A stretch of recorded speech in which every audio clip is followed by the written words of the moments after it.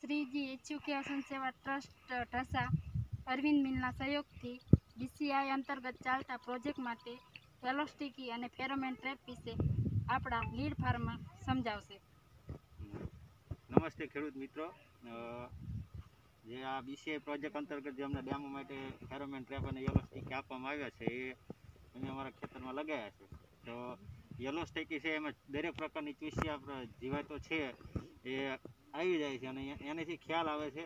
એક તો નિયંત્રણ તો થાય જ છે અને ખ્યાલ પણ આવે છે કે આપણા કપાસમાં કેવી પ્રકારની જીવાતો આવી છે. અને જો વધારે હોય, તો એ ઇટીએલ પ્રમાણે આપણે ચેક કરીને દવાનો છંટકાવ પણ કરી શકાય છે.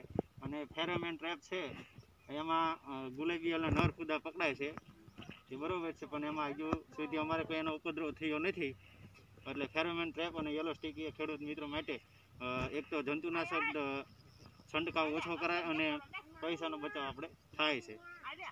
આભાર.